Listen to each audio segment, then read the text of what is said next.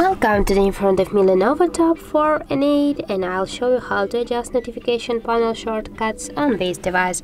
So first you should open the notification bar and here on the right upper corner you'll see the edit icon.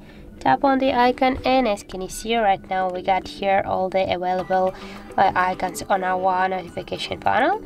And if you want to for example add some icons to your panel just press for a while to the icon and drag it here to these icons.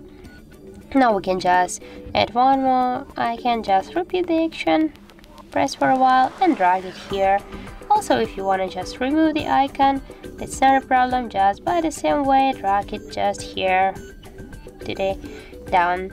And also you can just change the position of your icons by this way just press for a while on your icon and just move it to the position where you want to just sit uh, when you want to just uh, to take this icon.